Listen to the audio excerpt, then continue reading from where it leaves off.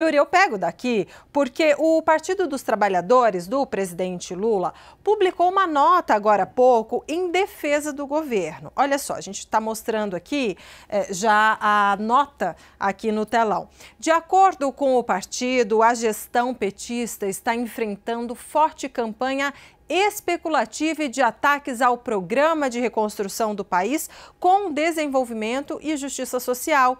A nota, essa nota que você está vendo na tela, ainda diz que, abre aspas, a escancarada sabotagem ao crédito, ao investimento e às contas públicas, movida pela direção bolsonarista do Banco Central. Olha aí o que a gente estava falando.